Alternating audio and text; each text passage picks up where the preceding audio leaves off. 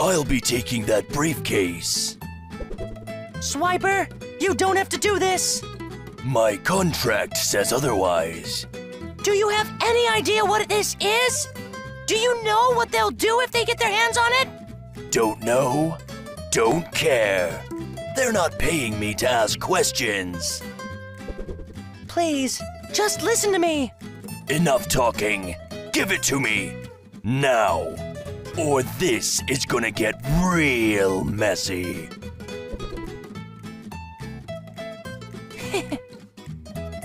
What's so funny? They aren't the only ones that hired some extra help. Swiper. No swiping. Oh man.